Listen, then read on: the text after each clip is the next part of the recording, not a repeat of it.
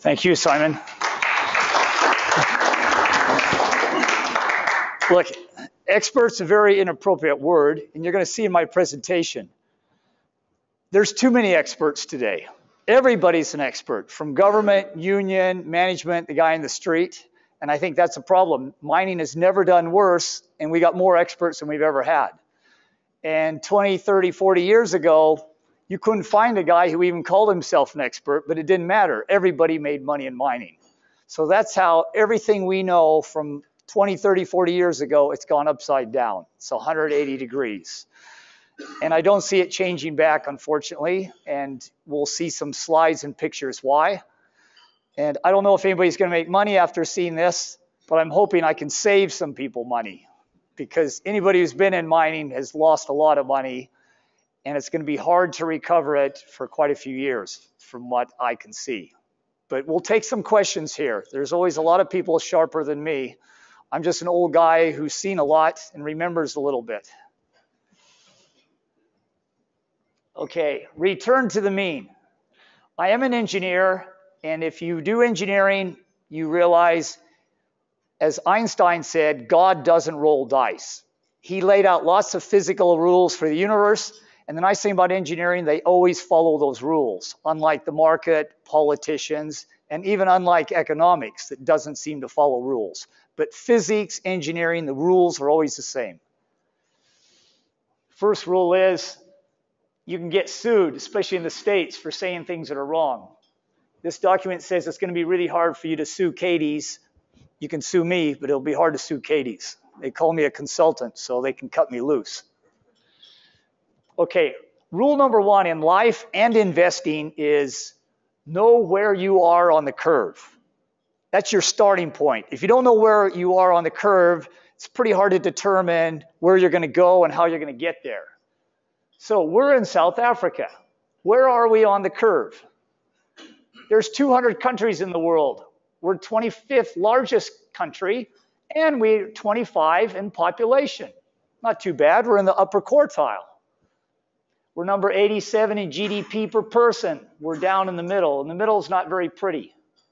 So, large population, very large area to some of our competitors, especially when you look at Korea. Huh? We're 12 times bigger in Korea, same population, but we're sure not making the same money as Korea, are we? We're making half the money the Greeks are making. Now, do the Greeks really work twice as hard as us? I can't believe it. Do the Russians work twice as hard as us? The Argentinians? You know, to me, something's wrong. They're making twice as much as us. And I've been to those places. None of them are as rich as South African minerals, and I don't think the people work twice as hard as us. In China, I think the Chinese do work as hard as us, and it's funny they're only making the same. That's why companies are manufactured in China. Good value for money. Okay, more. Where are we on the curve? Whether you watch Citibank, if you get their research, I've got my own research. I show us pushing close to 3 trillion. The fact is, South Africa's got more minerals than Russia and America combined. But I hate flashing this statistic around because the politicians and the unions, they love this statistic. They think just because we got the riches, you can ask for any kind of wages, you can spend any amount on your budget, you can borrow any amount, because they say, we're so rich. But we all know minerals don't just come out of the ground on their own. So, yes, mineral wise, we are very unique. We have the minerals. And that's why this was the greatest mining country for arguably 100 years. It's not anymore. And it's not just gold and platinum, manganese, chrome. We do have just about half the world's known minerals. The problem is we don't, I shouldn't say we've got nobody to mine them. We got a lot of people to mine them, but they're not allowed to.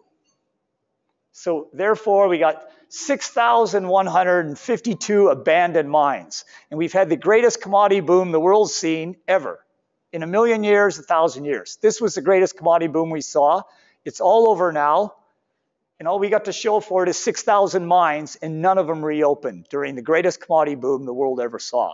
Something seriously wrong. Okay, what kind of minerals are we producing? If I look at last year's production, coal was king.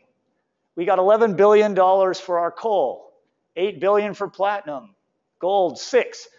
Now, a few years back, you'll see we used to mine 650 tons of gold every year. For decades, we mined 600 tons of gold every year. So that's four times bigger. We should have been making $24 billion last year just off gold. And it comes down. So 39 billion sounds good. But where's 39 billion on the curve? You'll see in a bit. Okay, we make oil from coal. That's 6 billion it saves us and it creates jobs. That's good. Steel, 5 million 5 billion dollars. Ferrochrome, ferromanganese. So we generate 56 billion. We're actually mining 39 billion. So remember that 39 because you'll see Australia does 3 times that with half the population. 3 times that number. Okay, we're a resource pygmy by what we churn out. World oil 2.2 trillion, natural gas 1.1, mining and steel 2 trillion, 4, 5.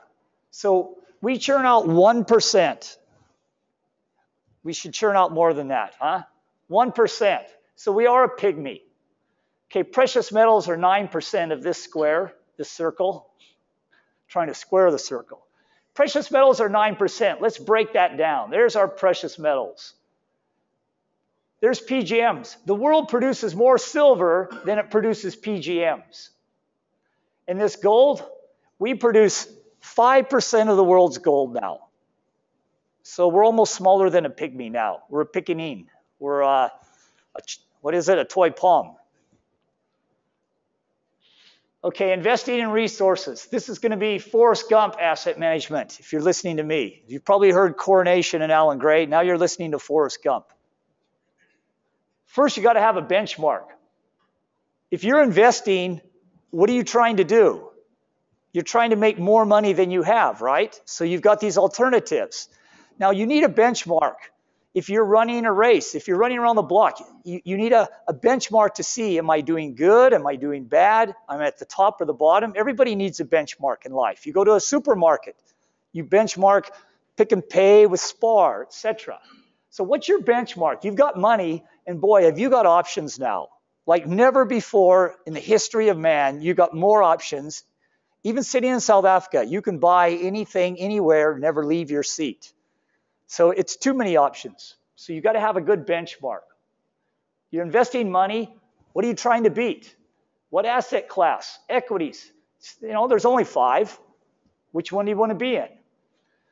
Okay. Now remember this. I'll repeat it as the day goes on. Earnings drive prices. You see a share go up, it's expected earnings or it's actual earnings. Earnings are the, the foundation, the rebar that you put a building on. If you don't have earnings, you better have a solid NAV. And it's not so often that NAV drives the share, it's earnings. And if you're in mining, metal prices drive earnings, right? Okay, the currency can affect metal prices. The NAV can help hold a share up, but can't really push it up. Not very often, sometimes. And sentiment, yeah, sentiment can push a share up or down. People want to ban short selling, but I say let the guys go. Sentiment is temporary. You need earnings to hold something up or push it down. Okay, most investors, the benchmark is the S&P 500. And whether you go back 100 years, 50 years, 150 years, it's averaged about 11% total rate of return. You can get that right here. So before you take money out of S&P 500 and put it in a mining share, you're going to say, does this mining share give me a better IRR? Because if it doesn't, why do it? You know, don't leave the peloton. Anybody watch the Tour de France? You know about the peloton, huh? Don't leave the peloton unless you think you can beat it. You know, otherwise go for the free ride. Almost nobody beats a peloton over time. It catches everybody. All right, let's this is my benchmark. This is most my clients' benchmark. Before I get their money, they say, How are you going to beat this, Pete? Because I can go on holiday, I can drink beer, I can dump work, and I'm going to make, on average, 11% over time in dollars. Okay, earnings drive share prices, remember. So the S&P isn't going up on hot air, its earnings go up. It's well supported by dollar earnings. Okay, our benchmark for years, we couldn't get out of here. So we had to invest in the Aussie, but the market's pretty efficient. The, also, the Aussie also averaged 11% a year, but it was a little more volatile. So if you got a choice, you get a volatile index or a, a unvolatile index, both for 11, you know which one you're going to take, right? The least volatility. So we got to think, how long are investors going to keep coming here for the same return with more volatility? They're going to come here less and less. Okay, the mining index over 55 years. Funny enough, huh? Everything reverts to the mean. Everybody gets sucked up by the peloton. Mining gave you 11 too. But look at the volatility in the mining index. Scary. How much longer are people going to be putting money in this index when they go in the Aussie, the S&P for a lot less volatility? This thing's on borrowed time. The gold index. For 100 years, you got over 13%. 13 to 14% by going in the gold index. That's why guys went into it. Yes, it had volatility, but not so much funny enough. We had excellent management, excellent ore bodies, excellent workers. Pension funds the world over would invest in our gold index because they got a 3% higher rate of return, 3% real in dollars. Okay, but notice where this graph ends, huh? It ends in 89. And that is literally when our gold index ended. I'll show you what happens after. But for 100 years, this was the case. This is why people bought it. Good returns, dependable returns. Okay, we go back to the mining index. See, we beat it by 3%.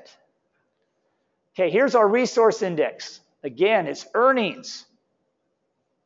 The resource index is falling because its earnings are falling. Huh? Forrest Gump logic. It's not science. Well, maybe a little bit of science, but it's basic science. Huh? Earnings fall, the index falls. And here's what's worrying. Look at last time we had a bull run. You know, this is a 100-year commodity boom. I've lived through two of them. I'm very fortunate. This is the big run we had in the last millennium, and this millennium started out. So it's unlikely anybody here is going to see another boom like this once in 100 years. And look how long this one fell. Earnings fell for 20 years. Now, Mark Twain said history doesn't always repeat itself, but it rhymes. And I agree. It could easily rhyme. This could easily fall down another five or 10 years. Long, miserable. So when you hear these mining executives and mining investment banks talking about we're getting ready for the next bull run, then they're obviously going into a cryogenic frozen center because that's the only way you can prepare for the next bull run. You know, freeze yourself for 70, 80 years, in my view. So this is what worries me. And especially when you see what's coming next. Our earnings are already here, but our commodity prices, to, in my view, are still pretty high. And if these commodity prices revert to the mean, these earnings are coming down more. Okay, our best index. You saw the Aussie has three components industrials, financials, resources. The financials have done pretty good, but nothing like the industrials. So you compare the resources versus industrials. Now, I do believe in reversion to the mean, but that assumes everything remains the same. And you're going to see in some more slides, things have not remained the same on the resource sector. This 100, 120 year history we have, you're going to see it's dramatically altered. And so it's always important to realize when something changes. So had nothing else changed, I would have been buying like crazy here. Because I know reversion to the mean works almost all the time. But look at, a lot of people started buying here, and we've had another drop. Now this looks like a real buying opportunity I only give it a 50 50 chance of being a buying opportunity. It might be worth picking up a couple if you're not already holding. See, earnings drive share prices. Never forget that. You take the earnings of the Indy over the Resi, you know, the Resi's it's it's blown out way above its mean. It used to be a one to one ratio. For 100 years, it was a one to one ratio. Now it's down to 0.4. It's got at least a 50-50 chance of coming to a 0.3. So until these earnings, the market looks forward about 12 or 18 months, depending how bullish it is. So if the market sees earnings are going to improve 12 months from now, they will buy today. But if they were selling shares, they were selling mining shares today. That means the market can't see earnings turning up in 12 to 18 months. If they could, they'd buy. They were selling today because when they look down the road 12 to 18 months, they still see things going down. Unbelievable performance by the Indy. Unbelievable. From 100 to 1,000, tenfold in about 10 years. Unprecedented. But there's a reason why. For everything, there's a reason why. And you'll see as we go. The Indy does not play in the same universe that the Resi does. It plays in a very different universe. And there. The Indy, yeah, earnings went nowhere for what, 20 years. But they're flying now. And one of the reasons the industrial index earnings, anybody want to tell me why these earnings are flying now and they weren't flying then? Globalization.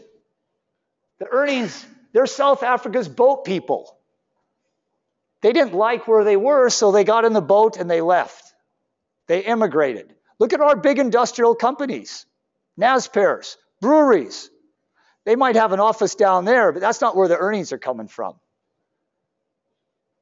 SA's boat people. That's why they're beating the Resi. They got out of town. They got out of the country. Will rising interest rates help our resources or hurt them? I think there's more reason to believe rising rates will hurt them. But these rates aren't going up in a while. I'm pretty sure the world's got the Japanese disease. I believe that five years ago, I still believe it, which means they can keep printing money, interest rates can stay low, inflation's going to stay low. Japan's done it 25 years. I think the rest of the world can do it for another four or five. I don't think that's going to make resources go up, but it's going to buy them some time. Because, boy, if this was the old days and these things went up, you'd watch these resource shares come down another 50%. Okay, where are we on the curve? When you buy a resource index, what are you getting? Now look at this is the Aussie. You buy the Aussie today, you're only getting 20% Resi. You're getting some Billiton, that's 10% of the Aussie. 4% Anglo, Sasol, But the resi now, Billiton's 56% of our resi. It's not even in the country. A couple coal mines. Anglos, it's more than half out of the country. So these shares, Sasol, half out of the country. Okay, you don't just do well because you leave the country. I must say, most of the mining countries I know, Australia, Canada, States, they've got a bit of the South African disease. This, this boom it's like a kid who inherited a bunch of money. He's worked hard all his life till he's about 30. Now he inherits millions and millions. For 12 years, he's just spending the money. Now all the money's gone. After 12 years of drinking, eating, womanizing, gambling, it's pretty hard to just come right. He eventually will, but that's happened to all the resource shares. What I'm getting at here, if you buy the Resi today, they've taken Sasol out. So a quarter of the Resi's Anglos, more than half is Billiton, 10% is Anglo Gold, 5% platinum, 5% other. It's not very diversified, but it's what you've got. So just realize that. If you're buying the Resi, you're really banking on Billiton and Anglos, then you got to bore down, okay, what makes Billiton go? It's got six commodities. What makes Anglos go? It's got five and a half, six commodities. So that's what's going to turn it around. We can look at that. Okay, rule three. I think this is rule three or four, huh? Earnings drive share prices. Commodity prices drive earnings. Now, how can your earnings go up when the commodity's falling down? Okay, oil bounced from 46, it's up to 62. Thank heavens it bounced. It stabilized Sasol. The question is, this is a magnetic force. This is gravity, the mean. It's always pulling things towards the mean. Now, when we send somebody in space, they're, they're breaking free of the mean. And we can do it But it's always difficult. It's always risky. It takes a lot of power to break away from the mean. So to me, it's going to be hard for us to stay at 60 when the world is pumping oil like crazy. They got shale gas, natural gas, solar power, coal coming out of your ears. I think it's going to be hard for oil to grow more than 60. And people are in debt and they're pretty tapped out. So I think there's at least a 50 50 chance oil's going to be weak. Might not come below 50, but I think it's going to stay down here for the next few years. Iron ore. Don't ask me what was going on here. I don't know. You know, I think it was all the planets lining up together. It was China that slowly had come from being nothing to being the second richest, most powerful country on the planet. And it was continuing to grow at 12, 13, 14%. So you got China doing that. You got a global financial crisis. So they're pumping out all the money you can imagine at zero interest rates. You've got um, consumers going mad. I, you know, low interest rates, Chinese voracious growth. They, they were taking more iron ore on their own than the whole world did a year before. But all that lined up easy credit, gambling. This was unsustainable, it's unwarranted. I think iron is the fourth most common element in the planet's crust. So why was it up here? You know, there's your 100 year average. Reversion to the mean, it's bounced up. It's trading around 56. But why should it leave there when Billiton, Rios, and Vale are bragging they're cutting costs? They got costs below 20 now. The three biggest exporters can produce and make money at 20. So I don't know why it's going to go back up. They can make money at 20 for five more years, easy. Coal prices, same story. Looney Tunes, complete Looney Tunes. Long term average is 60. That's exactly where it is. Why is coal going to go up when the other energy is getting cheaper? So I just see more, and believe me, this could easily come down, huh? We had 20 years of prices below the mean. What do we have here? 30 years. 30 years, prices are below. You know, we go below the mean for three years, it's going to be Armageddon. And it's possible. Uh, we've had our party. I know parties, they always get over too quick. Platinum. This was no brainer. This was too low and it had been here many times. It couldn't stay here. It's unsustainable. Yet South Africa made money here. We were so efficient, we could make money at these kind of prices. Problem is, we put all that money into the ground. Government freed up all the mineral rights. They let everybody have them, especially foreigners. Now we got had a short-term boom. Now there's way too much platinum in the world. If this just comes back to the mean, these platinum shares will lose another 33%. And boy, this is strong gravity here. Uh, this isn't just Earth pulling. This is like Saturn, Neptune. Strong mean pulling back. Gold. This is the biggest anomaly on my chart now. Long-term price of gold, 540. You can go back to Christopher Columbus. You can go back to George Washington. You know, it just cruises. There was no inflation for hundreds of years, so gold just stayed at 540. So anybody who even remotely believes in reversion to the mean, you're going to lose sleep because gold's got a long ways. I don't know if there's any mines out there that make money at a thousand. They will after they lay off three quarters of the people, change, change work practices, negotiate lower tariffs. But it'll be painful and it'll be long term. It'll be two, three, four years to cut costs. So this is very scary to me. Um, there's a lot more reason to believe gold's coming to 800 than going to 16, in my view. Copper, I use this as a proxy for base metals. Same story. Um, it's trading above its mean, not a lot, not like gold. Nobody's trading like gold.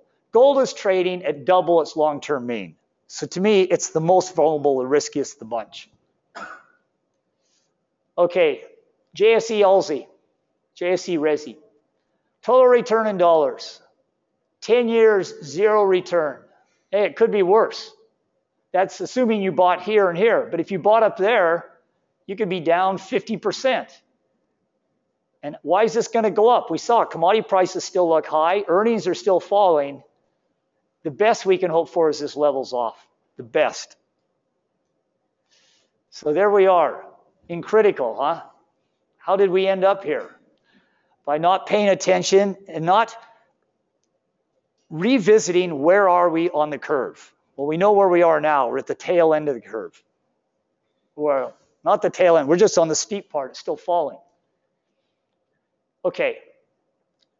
Will the JSE Resi revert to the SP 500? Yes, it probably will. Because our JSE Resi, as we saw, it's foreign companies. It doesn't really matter what happens in South Africa. It will revert back to the S&P 500 someday. I don't know if it'll be in my lifetime. Um, you know, look at this run here. That was that was a one in hundred year commodity boom, and it fell from 1980 till about 2003. It fell for 20 years. Now it ran for 10. It's fallen for about six or seven.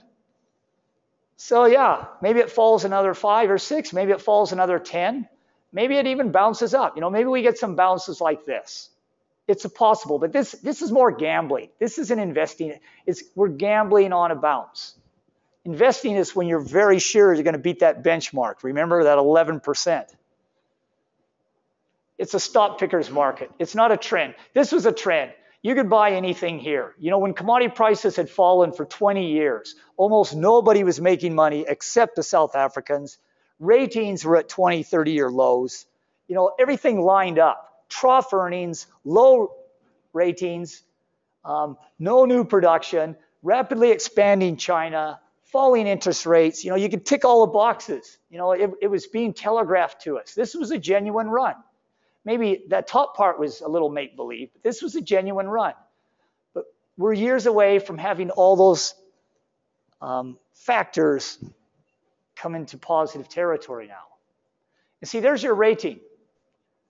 See, up here, the S&P was trading at four times the P of our Resi, and the long-term average of 1.7. So it was trading at more than double. These were great times to buy. I remember this. I was working for Nedcor then. I think our fund did 130. Allan Gray did 120. You know, the Resi just blew everything out. Even the Aussie did 70. See, that was abnormal. It was a standard deviation out. So those were great times. That was a great time, huh? That was in 2008, 2009. Excellent time to buy. Remember, Anglos and them fell down to about 120 bucks. But now, now it's actually a bit of an expensive time to buy. Not real expensive, but it's not cheap. Up here is expensive for the S&P, cheap for us. Down here, the S&P is cheap, expensive for us. All right, the gold index. See, for 100 years, look at what you got for a dividend. 11, 10, 8. I still got 8. Even in the 60s, 70s, it was worth going in there. Even if the gold price didn't move, you got your 8% dividend. Then it started falling. I don't know what happened here. Just because sanctions fell, we were allowed to invest offshore, all of a sudden we thought it's okay to buy a gold share on a 1% dividend yield. Heaven knows why. I think it was the Canadians that told us this was the new era. New millennium, new dividend yield. But how do you throw away a 100 year history? You don't. Guys weren't dumb then. Guys were dumb here. Gold index, no capital growth in 40 years. That was a time to get out. All this was a time. Huh? That's your get out of jail card, your get out of critical in the hospital. Now you're back in and you're going to be in for a while. You're going to serve your time now. Yeah, why why was the gold index so low? No friggin' earnings. No earnings at all. Earnings were falling all those years. And here's what's tragic. When the commodity prices went up in the 70s, earnings smoked. But this time, uh, uh, uh, just couldn't get off the ground. No friggin' earnings. And, and gold went up higher here than it did then, and it stayed up longer. So it shows something serious has changed here. Now I'm going to show you the slides. You have to realize when your environment changes, then the old rules don't apply.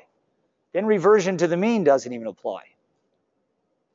Okay, back here, our models still worked. Management had control over their minds. You could predict earnings if you could predict the gold price. And it worked. Stock picking allowed you to beat the index. You relied on your models you relied on a 100 year track record of our mining companies being the best at controlling costs. On the planet, South African mining companies control costs the best.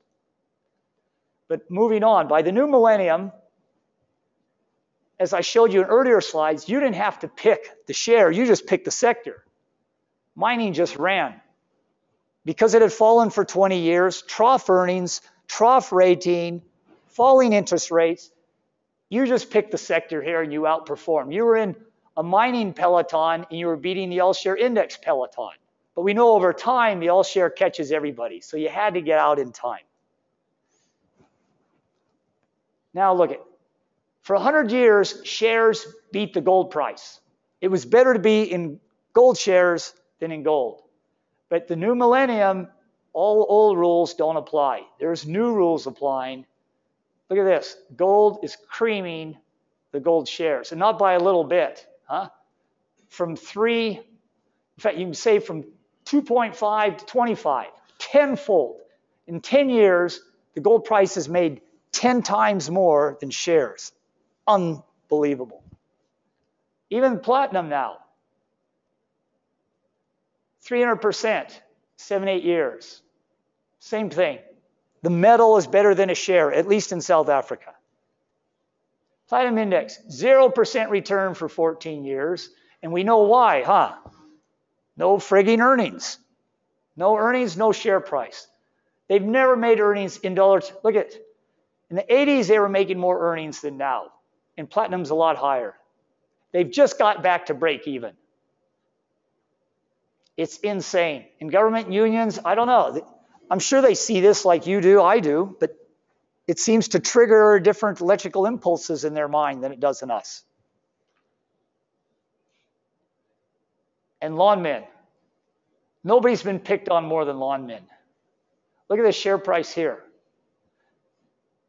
It's saddled with BE credits. And every time the share price falls, they got to issue more shares. They got to go to the bank and borrow more to give to the BE. It's, you know, whoever devised BE definitely devised the demise of the South African mining industry. You couldn't come up with a policy better designed to kill our mining industry. It's insane. There, could be no finance class in the world that could say this is a sustainable model.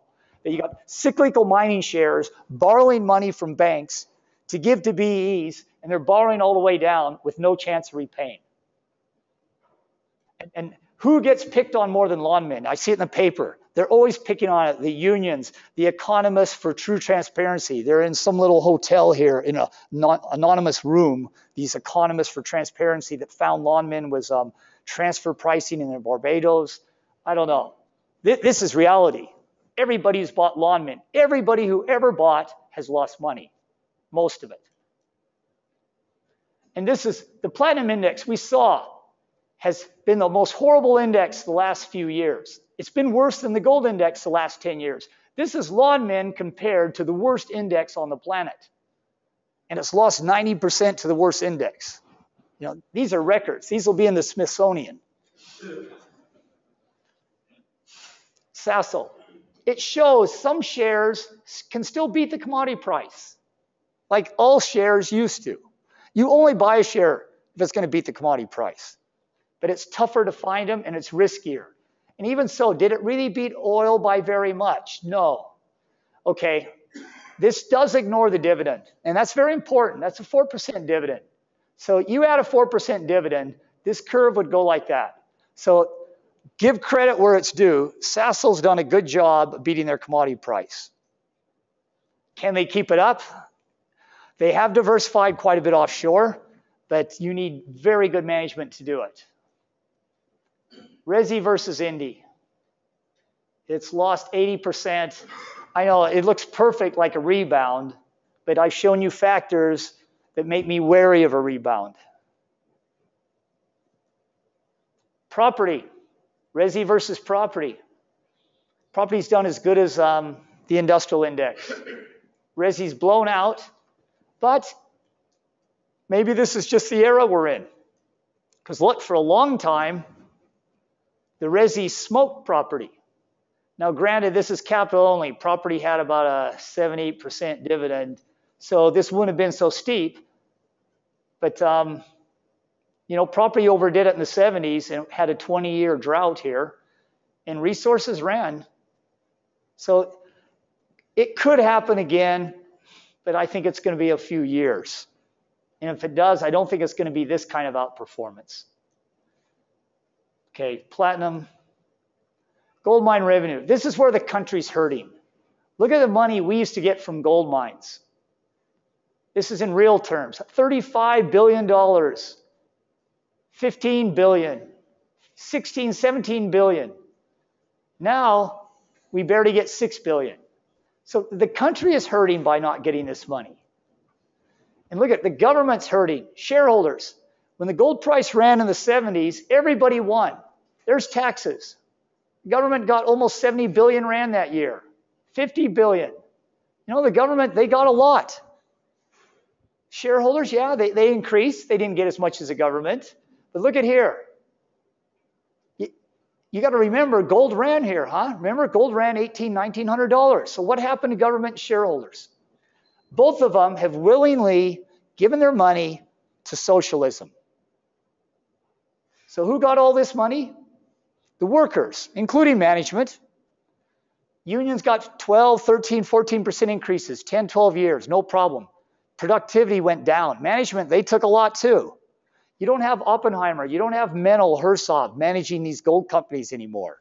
They've got diverse, diffused management all over the world. So when the cat's away, the mice are at play. So we effectively socialized our precious metal mines in the new millennium.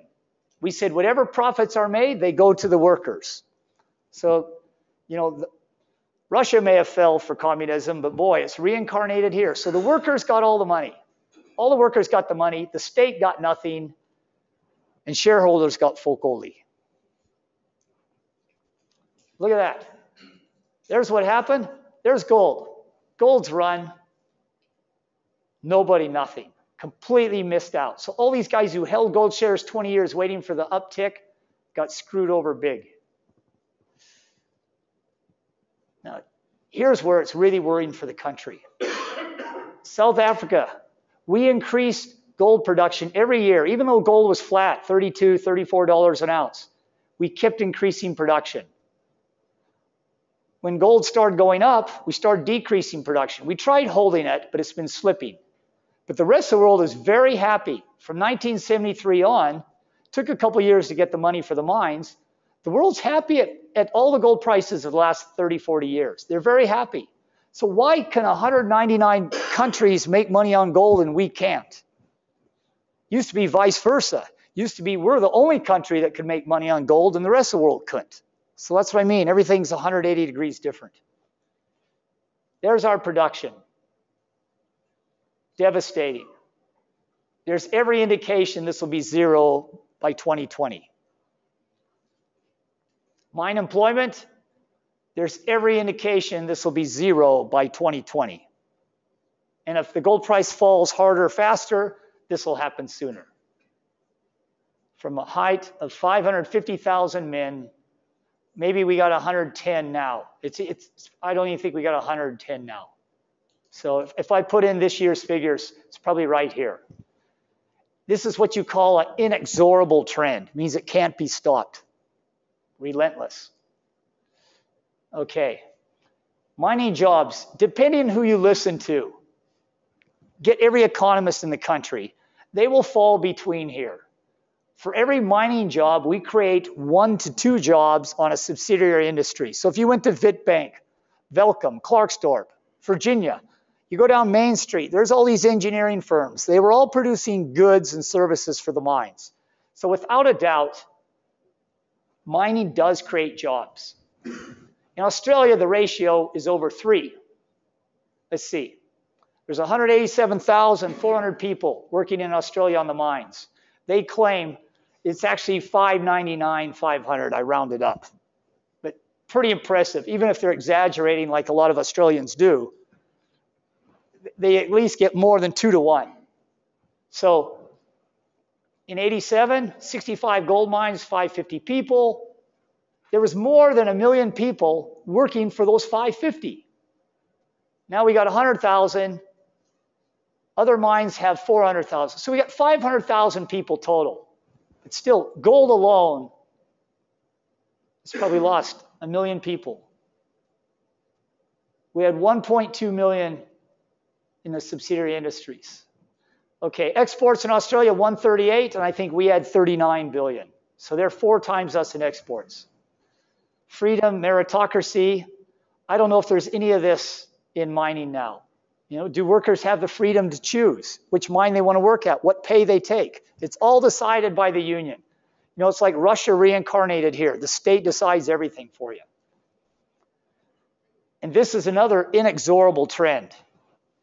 And it's not a great trend because this is more and more people who are being told they deserve something. More and more people who are demanding something houses, sewage, utilities, education. The more people you have, the more they demand, and I don't know where it's going to come from. Mankind versus the world. Man's definitely winning. Depending which anthropologist, economist you talk to, the world's designed for 300. It's, it's designed for 150 sustainably, but they say you could survive for quite a few thousand years with 300 million people. Well, we've exceeded that. Africa was designed for 34 million, but it could have handled 67. We've exceeded that. Western Cape was designed for 144, and that's what was here in 1500. It was in balance for thousands of years, but somehow the Europeans did change it. Now it's got 6.1. Cape Town, when Jan van Riebeeck came here, there was about 500 people, and that's what it was designed for. It could handle a 1,000, which it did for a while, but now we got this is 40, 450,000. Sorry, I left off a zero. So we got 450,000 where 500 should have been. Okay, people say our gold mines have lower grade ore. That's why they're closing. We'll, we know better than that, right? It's bullshit. This is the rock they're taking out of the mines in real terms. For every ton of rock they take out of our gold mines, they're getting about 230 to 220 a ton. It's only been that high once. In fact, I got another graph going. It was that high, I think, back in 1900. So look, we were happily taking out rock at 100 a ton. Now we're breaking even at 220. It's not grades, it's efficiencies and costs. There's ounces of gold per employee. There's where we are. 40 ounces per man. That's where we were in 1986. That's where we were in 1940, 1950, uh, 1907. And we know how we were mining there, right? Sledgehammers, chisels, and buckets. So where's productivity? Uh, you read about China, America, Europe, all this productivity, how, how many cars you build per worker, how many houses you build per man. And look, it was jerky, but we were getting some pretty good productivity increases, even back up here. So our productivity has gone down from 70 to 30. We've lost almost 50%. We have to regain 100% to get back to where we were 40 years ago. So it's why it doesn't matter what you pay the people, they're overpaid if their productivity is falling 50%. This is the key. Even more insane is we're encouraging open pit mines, the government and unions. They're 10 times more destructive. This is a platinum mine. Can you believe it? Anybody know how thick a platinum reef is? Around a meter. It's down there. I don't know if you can see it. It's down there someplace. And this is in a nature reserve, Pilanesberg, and they're using government money. This is the IDC that funded this mine. So that's we're 180 degrees different. We're doing things that don't make sense. 10 times more destructive. This mine will never make money, whatever the platinum price is. Underground mines, they employ 10 times as many people, and these are skilled jobs. These aren't guys driving a dump truck. You know, my dog can do that. Underground miners, they lay track, they put in rock bolts, they decide where the, the electrical wires must go.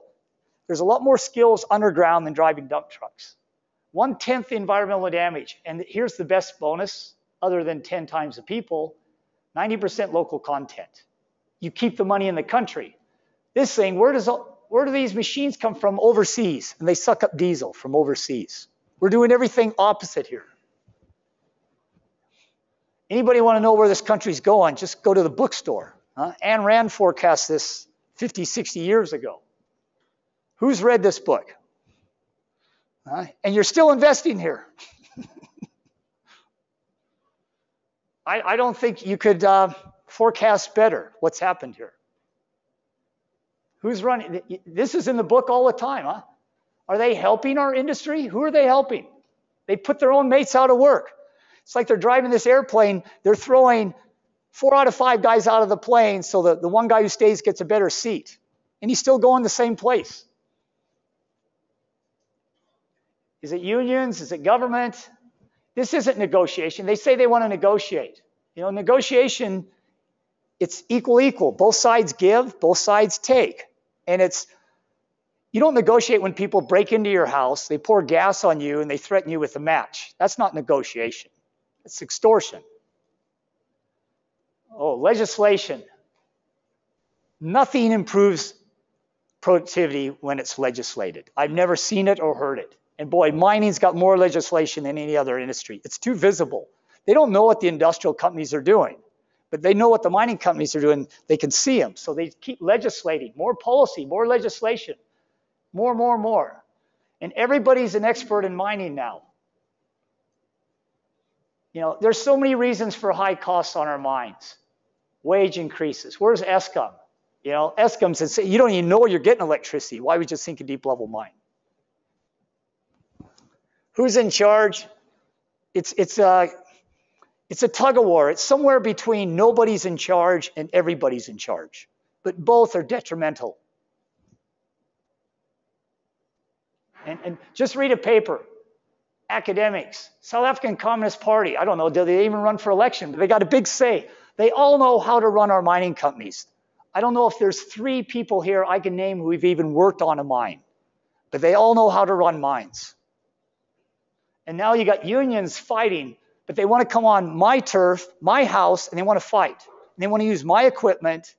You know, that's the most, you're, you're trying to run a deep level mine, keep people safe and productive, and you got unions fighting on your turf.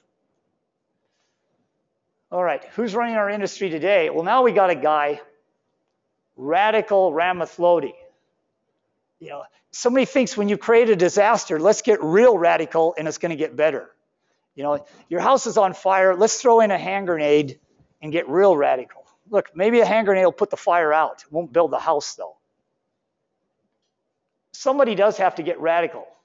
And if going back to basics is radical, I'm for it. Because what they're doing now is not working. It's actually working worse. The more people that interfere, the worse it is. This is the new South African gold industry. It's real radical, all right. And it's got managers, but not the kind you know. They don't pay taxes, but they pay protection fees. And it's out of control. What really matters to South Africans? This is in the Sunday Times. It's the most read newspaper we've got. And I'll tell you, I pretty much agree. Everybody I talk to, I talk to my workers, colleagues. What's most important in South Africa? Half of them said a job. There's too few jobs. Look, poverty, I agree. Criminal activity, corruption. These are pretty important, important factors. You wonder if any politicians or unions think of this when they go about their daily actions. We definitely need a new blueprint because this is Atlas Shrugged. And we're in part two now, and it's not very good. Government debt. We actually held our own here for a while from the, the new elections. Went up, but we held. But look at now, it's just out of control. From 60 billion to almost 160. Anybody, any reason this is going to come down? By closing gold mines, how are you going to lower your debt? You know, and debt, that's why it's banned in the Bible, the Quran. All the holy books ban it. It's a drug. You can't get off it. And mining companies, I haven't seen a mining company get out of debt. Harmony did for a little bit, but they couldn't hold it and they slipped. It's, we all know debt. It is a drug. It's almost impossible to get out of. and it doesn't build companies. I'll challenge anybody here to name two companies built on debt. And I'm being serious. We can talk afterwards. Microsoft, Rockefeller, Ford. Nobody borrows money to build a company. You, you sell shares, you get equity. How can you borrow? You don't know if you're going to make profits. When you borrow, you got to pay interest. How governments steal from their people? Inflation. Huh? Back in the 60s, one buck. Now you need 75 bucks. Anybody know this guy? You're old. Huh? Is there one man who knows this guy? Why do I put them up in a mining presentation? You guys are out of it. You got to watch Grand Prix motorcycle racing if you want to know how to fix an industry. Valentino Rossi. He's tied with the greatest motorcycle rider of all time, and he's cocky. He rode for Aprilia, then Honda poached him, and he won every year for Honda. But who doesn't win for Honda, right? They got all the money, the best bikes. Okay, he's a good rider. But every year the crowd and the press start saying, Yeah, you're great, Valentino, but you're riding for Honda. After a while, it starts eating at his brain. He knows he's good, but he starts wondering, Am I really the best? If what they say is right. Yamaha tried getting the guy for years. So one day, he just walks into Yamaha's office. He says, Can I get a job riding for you? They fell off their feet. Couldn't believe it. They've been trying to beat Honda for decades. Now the greatest rider walks in. He says, I'll ride for you. Signs up. He goes back to Honda and he tells his mechanic, hey, we're changing jobs. We're going to Yamaha. The mechanic's an Australian. Jer- what is it? Jerry Burgess. He says, hey, we're not changing. You change jobs. I'm looking for retirement. I got two years at Honda. I got a good pension. I get treated like a king. Good luck, Valentino. Now he's worried because he's got a brain, Valentino. He knows bikes. And he saw how Yamaha works on bikes. If a Yamaha doesn't win, they tear it apart and they rebuild the whole thing. Now, at Honda, he rides that bike. He tells Jer- Jerry Burgess, something's wrong with the front end. He says, okay, let's put some air in the tire. And he drives it five or 10 laps. Let's take some air out of the tire. Let's put some oil in the shocks. Let's put a different spring. It's incremental changes.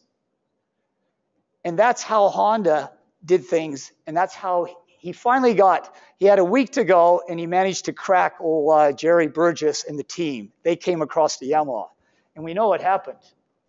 He won. Yamaha was unbeatable for the years that he was there. So, what can we learn from him? It's a Japanese word called kaizen. It means the law of incremental improvements. You try, try, try. And sometimes that might even make you go backwards. Boy, you back up quick. You get rid of that change. If that policy, if that legislation works, if it cuts one job, you back off.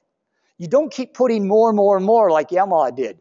Incremental, improving changes. All right. I've used up all my time. I got three, four minutes. I didn't have a trick because you didn't need it. I grew up in the world's richest silver district. A third of my class didn't have matric. You went straight to the mines. You made big money. They trained you. They fed you, clothed you, and there were so many layers of management that it never seemed out of your reach to climb one more rung. Like our mines here, they had all these levels. But what do you hear the union? They hate levels. They love cutting these levels out and having everybody on the same plane. You know, that's pure communism. And the mines diversified. They had zinc plant, cadmium plant, lead plant. This was a silver mine, but they did it without the government forcing them. They did all the beneficiation they could. So you start stripping zinc. You're too young to go underground. This is a cock job. It's acid, it's electricity. You work your guts out so you get promoted out of here, believe me. Even underground breaking rocks was better in the zinc plant and you got paid more. There was another rung you could go. Then you got on a motor, another rung. Another rung. Pretty soon you're mining. You keep working, you're making more money. They're training you, they're feeding you, they're educating. All mines are like that. That's what these mines did. 140 training colleges when I came here on the mines, 1982. Now there's probably four, maybe five. And the government didn't fund, no SETAs, the mining companies funded it. Eventually they help you go to school. Why I left to come here? You want to keep moving. You want to see how the best do it. Three miles underground. Trackless mining. This was going to be a silver bullet. Now, Eimco brought this machine over in 1936. De Beers bought the first mechanized loader. And that's how we had innovation, modernization, mechanization when it worked. Our gold mines did Japanese Kaizen.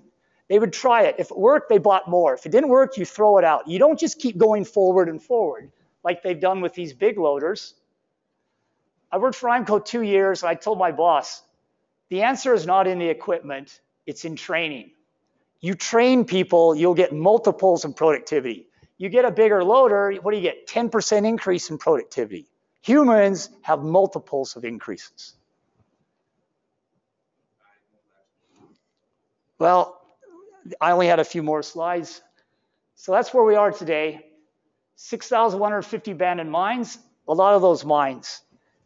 You put a little bit of money in, you can make multiples on it. It's hard getting your government permits, but that's the only way I see. That's going back in the old days. You're not going to make it trading shares. You're going to invest in individual mines. It's stock pickers.